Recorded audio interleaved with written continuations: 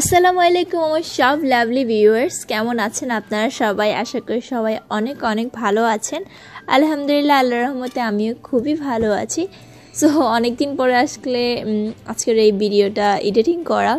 Recently আসলে অনেক বেশি ব্যস্ত ছিলাম, যার কারণে video editing and all that করা হয়নি। সো এটা হচ্ছে আমার রেগুলার একটা দিনের মতো।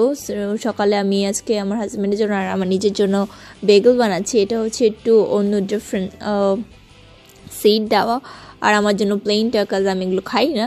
সো বেগেলটা হচ্ছে আমি এক সাইডে জেলি দিয়েছি গ্রেপ জেলি যেটা ওইটা, আরেক জায়গায় দিয়েছি ক্রিম চিজ সো ওর জন্য বানিয়েছি স্ট্রবেরি স্মুদি আমার জন্য হচ্ছে চকলেট সো আর চকলেটটা হচ্ছে আমি মেনলি তেমন কিছু না just ice cream and milk add করে দিয়েছি। অ্যান্ড ওরটার জন্য শুধু strawberry and milk simple and easy recipe so আজকে আমি একটা নিউ রেসিপি ট্রাই করছি, যেটার জন্য আমি আম্মুকে ফার্স্টে ফোন দিয়ে জিজ্ঞেস করেছিলাম যে কীভাবে কি করতে হবে। সেটা হচ্ছে মরিচ খোলা।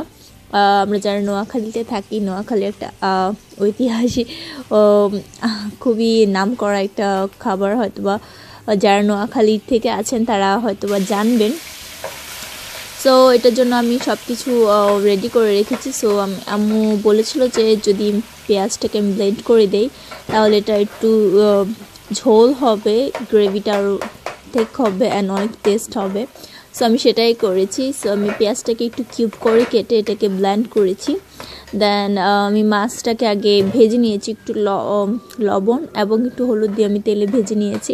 অ্যান্ড ওই তেলেই আমি এখন পেঁয়াজের যে মিশ্রণটা, ওইটা দিয়ে দিয়েছে এবং যখন আমি দিয়ে দিয়েছি আই থিঙ্ক পেঁয়াজে আমি একদমই কম পানি দিয়েছিলাম ব্ল্যান্ড করার সময়। দ্যাটস একদম ঠিক একদম চাকা চাকা হয়ে গেছে। আমি বুঝলাম না এটা কেন এরকম হলো। সো এই জন্য আমি এটাকে একদম কি বলে এটাকে প্লেন করা ট্রাই করছি বাট কোনোভাবেই হচ্ছে না, একদম থেক হয়ে গেছে। সো এটা আস্তে আস্তে আমি এটাকে একটু নাড়তে থাকব। আর যেহেতু এটা আমার first first time actually I think এটা আমার সেকেন্ড আর থার্ড টাইম হবে। কিন্তু রুই মাছ দিয়ে এটা ফার্স্ট টাইম এর আগে করেছিলাম ইলিশ মাছ দিয়ে। সো এটা যখনই করি, আমি নর্মালি ঝাল খেতে পারি না। ঝাল খাওয়া মানে আমার আসলে আমার গলা, পেট, বুক একদম সব জ্বালা পড়া করে। বাট এটার সময় যত ঝালই হোক আমি খেতে পারি, এটা আমার খুবই ফেভারেট সো এটার সময় আমি কোনো সময় ঝাল দেওয়াতে কি বলে, কম করি না। আমি সবসময় ঝাল যতটুকু লাগে ততটুকু দিই। সো আমি এক চুলায় ভাত বসিয়ে দিয়েছি, অন্য চুলায় আমি স্পিনিচের জন্য রান্না স্টার্ট করে দিয়েছি এবং আমি আরেক চুলায় এখানে মরিচ খোলার জন্য স্টার্টিং করে দিয়েছি। যেহেতু স্প্যানিশ আমি এর আগে একবার দেখেছি সো স্পেসিফিকলি ভাবি আজকে আমি আর স্প্যানিশটা দেখাবো না। আমি জাস্ট আমি কীভাবে মরিচ খোলাটা করেছি ওইটাই দেখাচ্ছি। সো এখানে যখন আমি মরিচ খোলাটা করছিলাম সেখানে অনেক ছিটকা ছিল লাইক আমি একটু ভয় থাকি। দেখা যায় আমি একটু থেকে একটু রান্না, একটু থেকে কোনো কিছু হলেই দেখা যায় আমার গায়ে ছিটকা পড়ে যায়, আমার হাত পুড়ে যায়।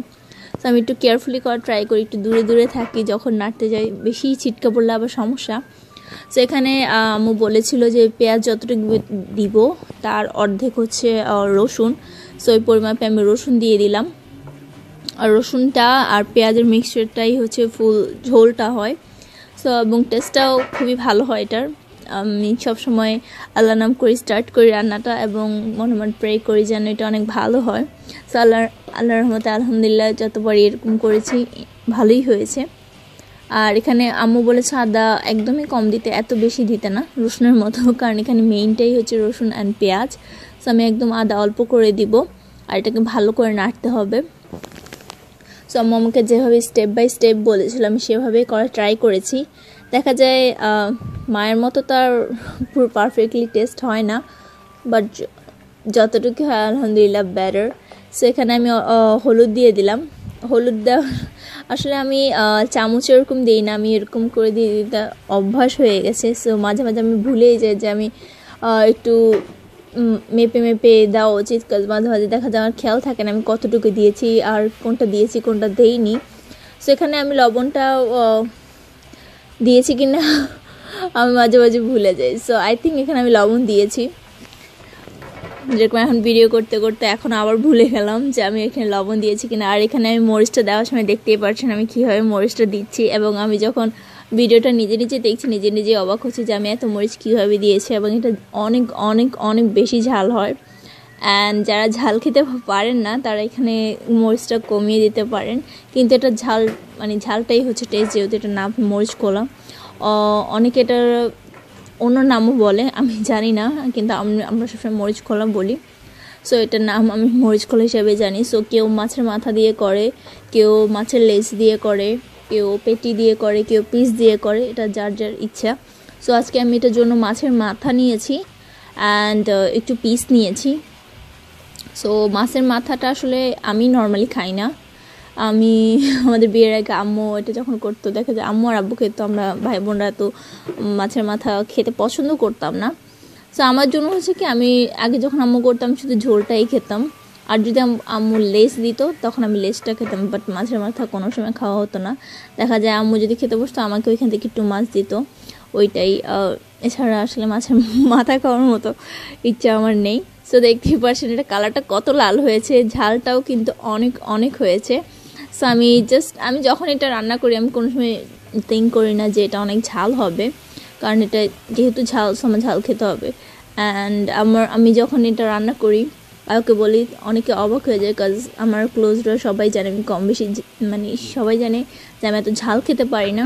তো অনেকে অবাক হয়ে যায়, আমি এটা কীভাবে খাই অ্যান্ড আমি বলি যে এটার সময় আমি ঝাল খেতে পারি এটার সময় আমার কোনো সমস্যাই হয় না। সো আমার এটাকে ভালো করে কষাতে হবে। এটা একটু তেল উঠে আসলে আমি এখানে পানি দিয়ে দিতে হবে। যত ভালো করে কষানো হয় রান্নার টেস্ট ততই বাড়ে। সো আমি যখনই রান্না করতে যাই জানালা একটু খুলে দিই। আসলে ঠান্ডা এখনও আছে। নিউ ইয়র্কে আসলে ঠান্ডা আপ ডাউন হচ্ছে। সো দেখা যায় পাকঘরে রান্না করলে এটা খুলে দিলে ঠান্ডা এত লাগে না কাজ গরম, ঠান্ডা মিক্স হয়ে যায়। সো এখানে আমি পানি দিয়ে এটাকে ভালো করে কষাবো।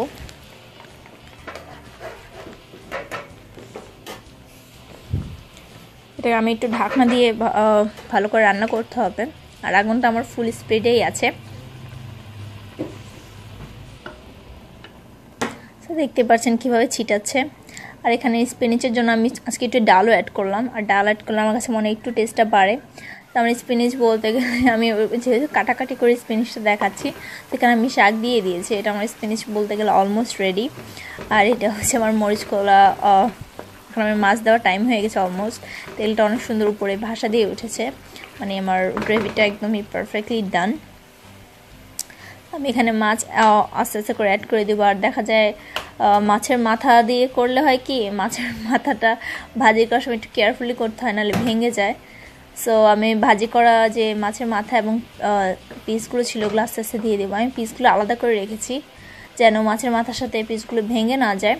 সো আমি এটা আগে মাথাটাকে ভালো করে এদিক ওদিক উল্টে দিব যেন মাছের মাথার ভিতরে ভালো করে মশলাগুলো ঢুকে। দেন আমি সাইড করে পিসগুলো দিব এবং পিসগুলো এমনভাবে দিতে হবে যেন পিসগুলো না ভাঙে। আমি একটু কেয়ারফুলি করার ট্রাই করি। বাট সামহাও আসলে একটু একটু ভেঙেই যায়, যেহেতু এগুলো মাছের মাথা। আমি এর আগে ছিল মৃগেল মাছের অনেকগুলো মাথা ছিল, ওগুলো আমি ফেলে দিয়েছি কাজ এটা অনেক দিন হয়ে গেছে, কীভাবে কী করব, রান্না করব বুঝতে পারছিলাম না এই জন্য। সো আমার মরিচগুলো বলতে গেলে অলমোস্ট ডান আসলে আমার এরকম ছবিটাও তোলা হয়নি। তো আমার একটা ছবি আমি পেয়েছি, ওইটাই দিয়েছি। সো আজকের ভিডিও আমার এতটুকু ছিল। আশা করি আপনাদের সবার ভালো লেগেছে। ভালো লাগলে অবশ্যই লাইক কমেন্ট শেয়ার এবং সাবস্ক্রাইব করতে ভুলবেন না। সবাই ভালো থাকবেন, সুস্থ